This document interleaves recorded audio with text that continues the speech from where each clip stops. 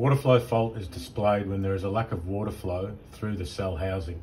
It is recommended to check if a valve has been shut, restricting the flow of water, or possibly something is stuck in the skimmer box or hair and lint pot of the pump, which is not allowing water to flow through the system.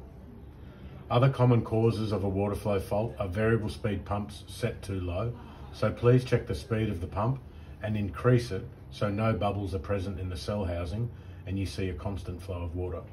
If something was blocking the pump and the issue has been resolved, simply press the power button and turn the system on and then return it to auto and normal operation will resume. It is important to note that the system will remain on once the water flow fault has been activated and will try three times to pull water through.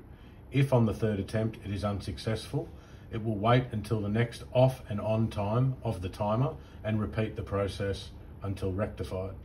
Further information can be found in the user guide or on the Naked Pools app.